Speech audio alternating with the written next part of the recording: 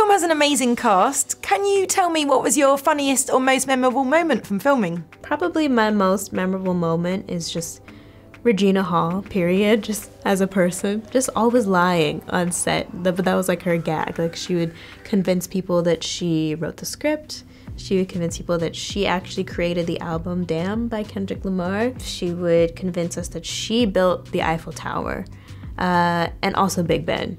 Uh, that was that was probably the, the highlight of it. I actually felt bad because at one point TJ, who plays Sekani, like really believed that like she was capable of all of these things, and we had to like break it to him, like TJ, like no, Regina Hall did not build the Eiffel Tower. Were people trying to catch her out by getting her to sing it then? Yeah, yeah, we'd be like Regina, so you should rap some of the album. She'd be like, man, you know, see, I just write it and then I let it go as a part of my artistic process. Like, you know, I don't I don't let the words stay in me like that. Oh, you know, the best moments is, you know, we got all these emotional scenes and this you know, these scenes that you just put all your heart into it. But we were a family, like Regina Hall, always telling jokes, you know, always really being the clown and always uh, making things really happier. Anthony Mackie and everybody was, you know, we just get really close. And I think that was the fun thing, how the whole cast became a family. Regina would always come on the set and be like, oh, George, I moved the camera. Camera's gonna be over here. I moved the lights over here. I was thinking about doing a two shot instead of a one shot, and everybody be like, get out of here. So that was pretty much what she always do every take we, we start. Anthony is always, always trying to speak to, you know, every crew member and always trying to tell each crew member I can do their job, I can do your job better than you can, you know. So that was always the funny thing with Mackie and everything. So he's a smack talker. Yes, he is. Did he smack talk you then? Oh no, no, we worked together three times, so he knows not to bother me. So Regina Hall had this running joke on set that she wrote the book she just let me put my name on it. She was really directing the movie. She was just letting George look like he was doing something important. She was really actually helping Amandla and coaching Amandla through the entire acting process. So she took credit for everything. I mean, she was like, I really wrote Tupac songs, you know. So that was just a running joke, and she still makes those comments. So it, it's it's still funny though. When we first got to Atlanta to, to start rehearsals, um, actually the studio and the director set up uh, a little outing for all of the Carter family. So we went to this place where we went go karting and we played arcade games and bowled and stuff like that. There was a big party that we had, and there was like go karts and laser tag and all these different things. And it was just we became one big happy family. So it was honestly every single day with everyone. It was just like it was like a family reunion over and over again. It was that great. We love watching you with KJ Apa in the movie. You had amazing chemistry. How did you guys bond on set? Oh man, well he's just such a sweetheart. We became friends really quickly.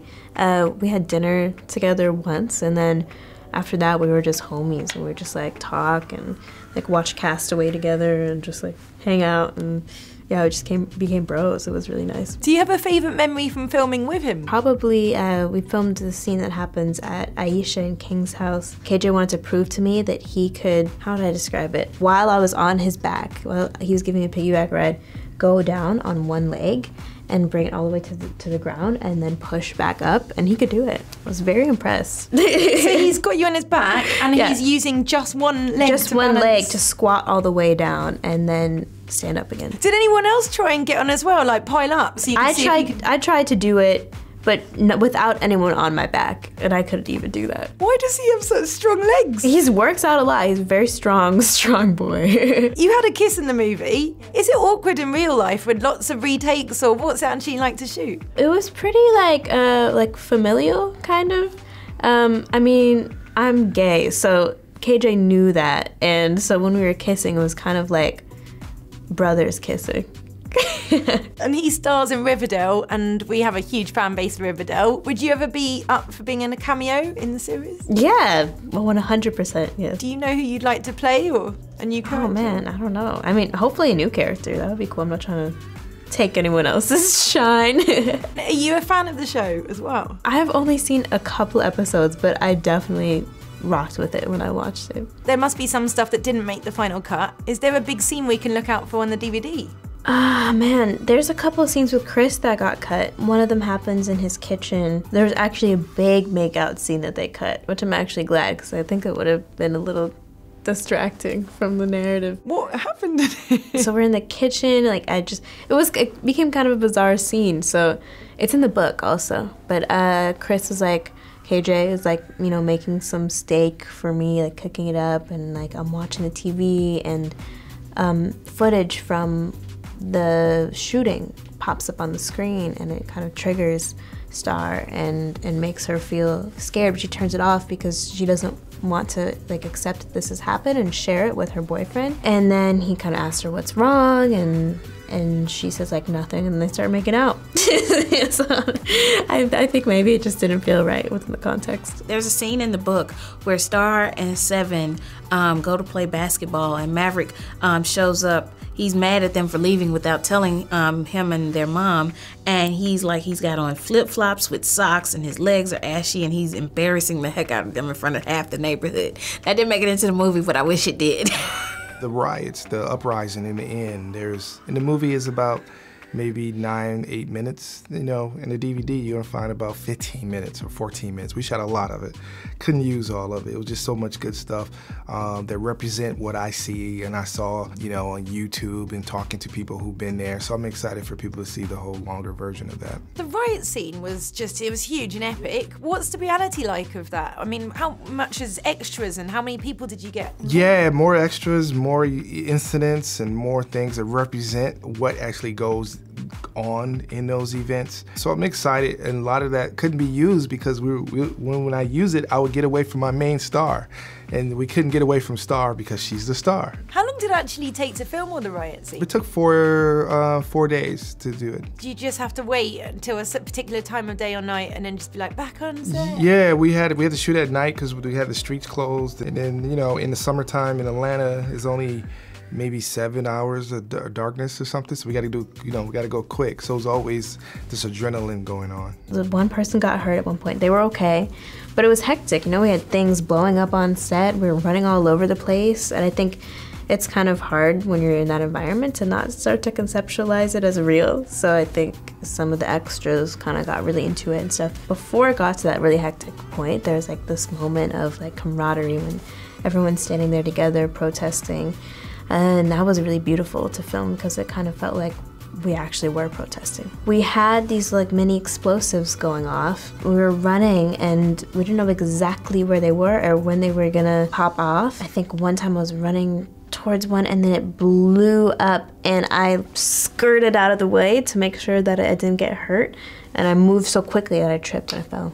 So the film covers some very relevant topics to today's society. What was most important to you about working on the movie? I think there's a power for when you take events like this that are so politicized and kind of only viewed through the lens of the news. When you place it in a personal narrative, it can create a lot of empathy in people. So that was our number one intention. And also just to reflect the black experience in a way that was actually inclusive of what it feels like and actually explores a myriad of emotions and dynamics and feelings. It was very important because I just felt like it really um, had a great story in terms of healing, in terms of relationships, how we speak to one another, how we respect one another, and also getting to the root of what is police brutality.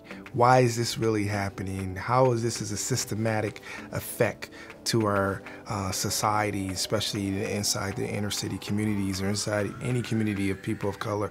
I thought that was very important, a story that can be told and unique because we see it through the eyes of a 16 year old. It was important because I think that storytelling is one of the best ways to help us process things. I think it's the best way, one of the best ways to create empathy, and I think we need a lot of that nowadays. I hope that this film helps more people understand why we say Black Lives Matter, and I hope that it gives some humanity to something that's so often seen as political because for so many of us, it's not political, it's personal. What was it like reading the script and the book for the first time? How did it make you feel? Yeah, I was very emotional. I read the book. The script wasn't wasn't there. Um, that was done after I got involved and we got a writer and we started working on it. You just don't see the, the voice, 16 year old, in these relationships and how honest and truthful they are.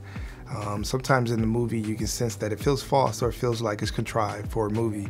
Here, it feels like real characters and like you feel like you've seen it before with people around you, with real people. How involved were you with the auditioning of Amandla and of KJ Apa together? Oh, they were great. We did some great chemistry uh, auditions between those two, and um, it was very interesting. Amandla was was awesome. I knew she would start from the beginning. KJ, I think he came in one time. I just felt like uh, he was the guy when I saw him after we had to replace him. Uh, we had to replace another actor and KJ was our second Chris, and he was so much, uh, so much more chemistry, so much stronger, and he was a great guy just coming in, and we, he did a great job. What was it about Amandla, for example, that made her perfect? Her dedication. Also, she was she felt like Starr. She lived. You know, in an inner city community, and she went to a white private school. She actually code switched, became, became two different characters. Um, all this was uh, I, I, I learned when we first met, and I just felt like she was she was the one. And you just sometimes you go with your instinct, and I just felt like uh, this is something that really worked out well when I was writing the book, Amandla had came out with this video called "Don't Cash Crop My Cornrows," and when I saw it, immediately for me, she was star. And so when I was told that she wanted to attach herself to the project, it felt perfect, you know. And later on, when KJ, um, when George was considering KJ, he was like, "Yeah, I got this guy from Riverdale. I think that I'm gonna go with." And I immediately I knew who that was. You know, I was like, "You mean KJ?"